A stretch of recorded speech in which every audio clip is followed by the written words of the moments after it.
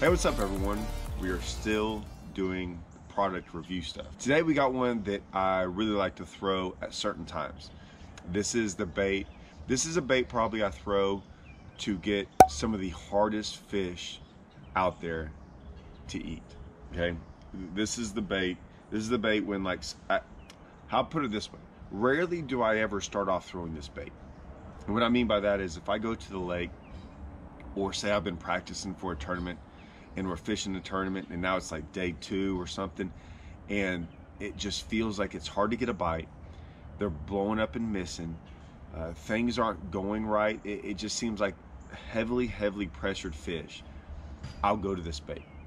And, and it's happened a lot. I probably, when I say I figured it out, I figured out that this was a deal about six or seven years ago on Guntersville.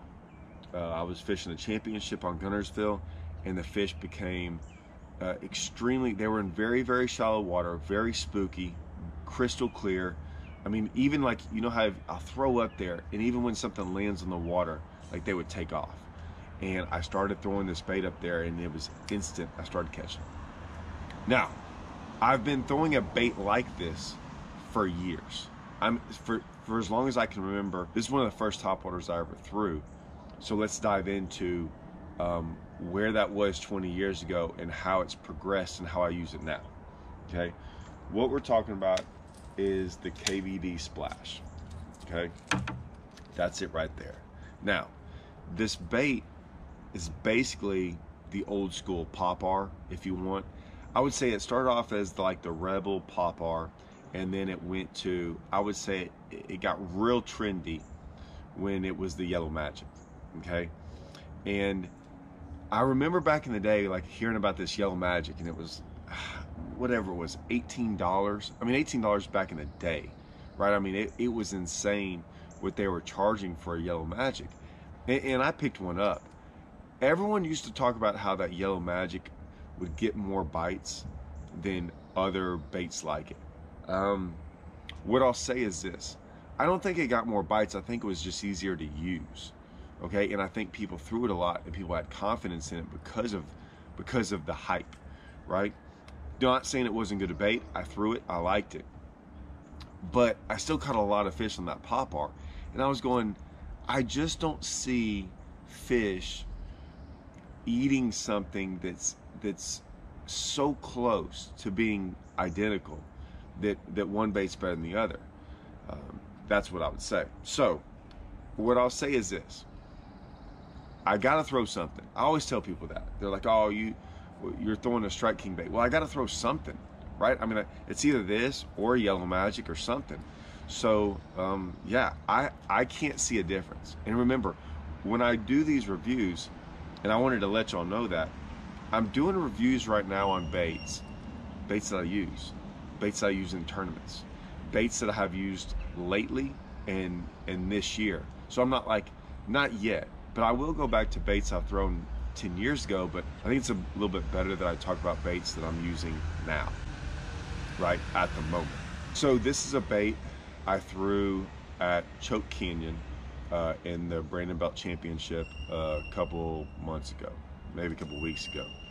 I threw it because it was day two, and we needed it. It started getting really hard to get a bite. If you ask anyone there, you could catch really little ones, but big ones were big ones. They were getting so much pressure in this one area that I mean it was hard to trick one. And that night, the night of day two, and after day one, I was like, man, I'm gonna go do something different on them the next day. So I tied this on and and basically started throwing it, trying to figure out how to get one or two extra bites. So here it is. Um, I'm throwing this bait and we ended up catching our second biggest fish on it. Okay. Uh, at the time, it was our biggest fish. I was like, all right, man. And we caught some other ones as well, but it, it instantly showed us that, yeah, man, we can we can get some of those ones. We were getting blowups. Everyone was getting blowups. All, that was the that was the talk around the entire tournament was that they were getting blowups and missing. And so something real small and subtle, I thought I could throw. Now I wasn't throwing the big one. Okay, I was throwing the smaller one, the Splash Junior. which is just a little bit, you know, there's the difference, okay? One's a little bit bigger, one's a little bit smaller. I'll throw that small one. I was going, I actually tied both of them on. I tied a big one and a small one on just to see if it mattered. And I caught that one on the small one. So let's talk about that for a while. Y'all see me throw a lot of, of baits. Like this is this is a, a sexy dog. I throw it all the time. This is my basically my top water box. If you can see, I have basically sexy dogs and splashes in there. I can get by with those two top waters. Um, other than like a frog and some other things. I mean, that's literally what I bring around top water fishing because I can do a lot with that. This is my this is my like aggressive style fishing, right? Fish that I'm gonna call up and I want them to come from a long ways away. They're actively feeding, you know, and and they're not that spooky. Like I, I want to call them that way. This is not that bait. This is a this is a bait that I throw where I think fish are literally they're at. They're gonna look at that and go, no, I've seen that. Um, I'm not. I'm a little bit spooky. I'm a little bit sketchy, right? I'll throw this bait in there at them. A lot of times, and I did this show the other day, and I'll talk about this about catching them uh, schooling fish and just fish kind of hanging around right below the surface. They were missing this. Like a lot of times, you'll get fish that'll miss those bigger baits when they're schooling because they're they're schooling on a really small small bait. That's when I'll throw this as well. I can go with this bait and throw different colors. I can throw a, a bone one, this this Carolina Chrome, a black one. Um, I throw this oyster color a lot. I choose colors on this one. Like I, I'm very diligent about how I choose my color when I'm about to throw. This not so much. Not in a bad way. It's just I'm not throwing anything wild. Chances are I want something kind of subtle and clear. I'm not trying to get them to find the bait. Like usually I'm throwing this and it's I want it to be subtle. I'm trying to trick them into biting. I'm trying to while everything else is so loud on the top water and, and bold and flashy and big, I'm trying to get as subtle as possible. That's why I like the small one.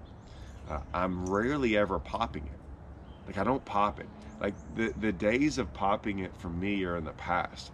I kind of walk this bait more. Um, and so as it's walking, it's popping, but I'm not I'm not out there like the old school, throw it out there, let blue, you know, and let it sit there and blue. I, I don't do that so much with it. I, I more or less walk it. So that's what I'm trying to accomplish with that bait.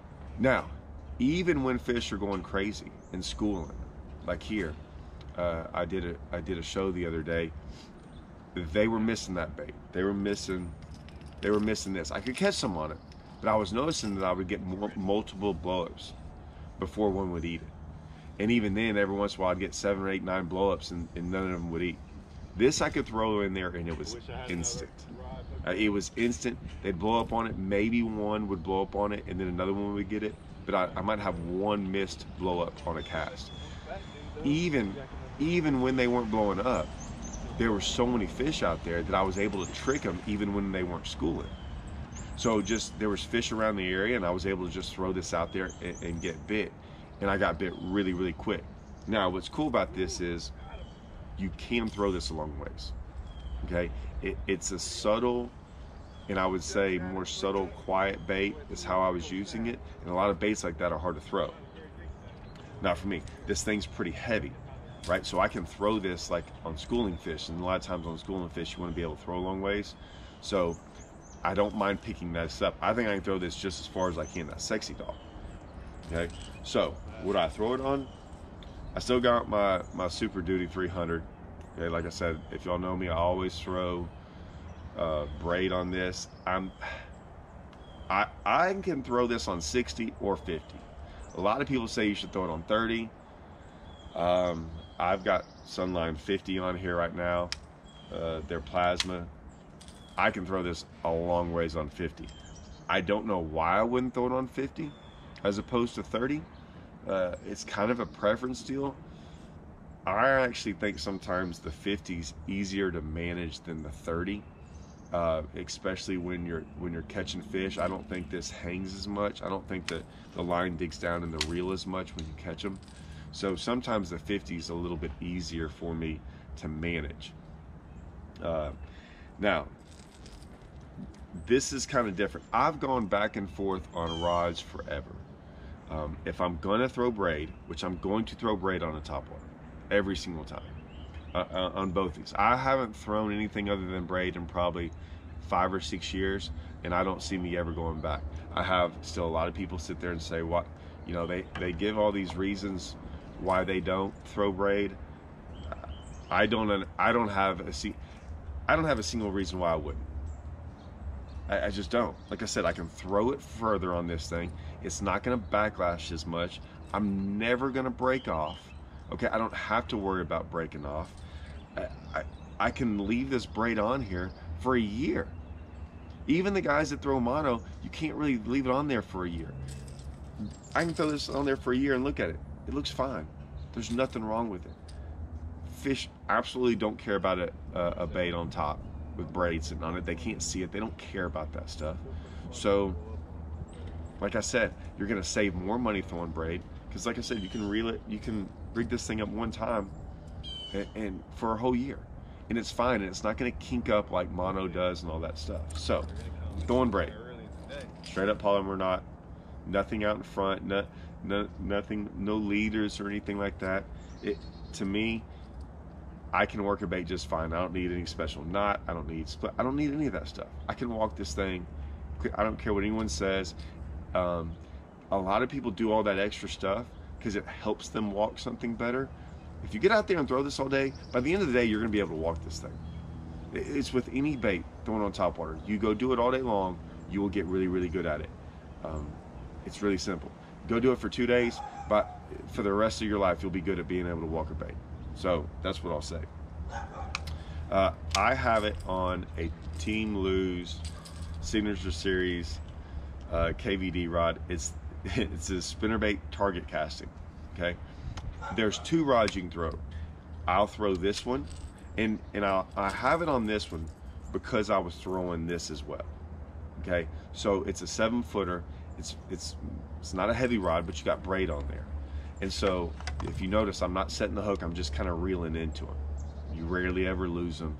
It's easy, it's the, the rod's easy to manage, it's easy to cast, it's easy to work.